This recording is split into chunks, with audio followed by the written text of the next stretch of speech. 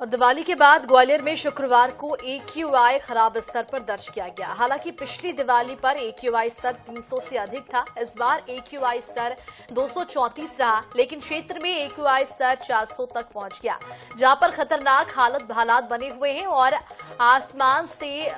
आमन सांस लेने की तकलीफें भी देखने को मिल रही है। वहीं सुनने की क्षमता पर भी असर देखने को मिल रहा है। तो दिवाली के बढ़ते पोल्यूशन के चलते एक्यूआई यहाँ का बढ़ गया है, जिससे लोगों को सांस लेने में भी तकलीफों का सामना करना पड़ रहा है।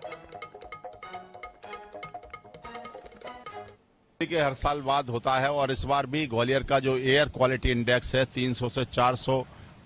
पार कर गया है और सबसे खतरनाक स्थिति ये है कि जो फटाकों का शोर हुआ, उसके बाद तो आप देख सकते हैं, लेकिन जो स्थिति है, अब चूँकि निर्माणाधीन और जो प्रोजेक्ट हैं, उनको देखते हुए यहाँ पर जो धूल के गुबार उठ रहे हैं, उसकी वजह से एयर क्वालिटी इंडेक्स में और ज़्यादा गिरावट आई है और जो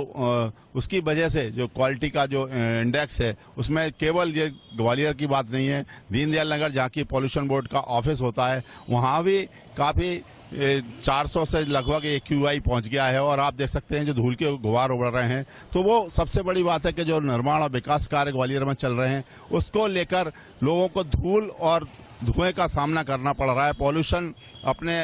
निर्धारित मापक से कई गुना आगे पहुँच चुका है। हालाँकि पिछले साल से पटाखों की तुलना में कम चलने की बात की जा रही है, लेकिन पटाखों के शोर से भी लोगों को ध्वनि प्रदूषण का भी सामना करना पड़ा है और लोगों के जो हियरिंग एड्स यानी सुनने की क्षमता उस पर भी असर पड़ा है। और दिवाली का त्योहार दो दिन मनने के कारण इस बार और फटाखों की गूंज रहने वाली है और एयर क्वालिटी इंडेक्स के साथ साथ जो निर्माणाधीन प्रोजेक्ट हैं क्रैकर्स और फटाखों के अलावा जो प्रोजेक्ट की धूल उड़ रही है, जो निर्माण कार्य अव्यवस्थित तरीके से चल रहे हैं, उससे ग्वालियर वासी अपने इस समस्या से और पॉल्यूशन से जूझ रहे हैं। कैमरामैन अजय उपाध्याय के साथ जावेद खान आईएनएस न्यूज़ ग्वालियर।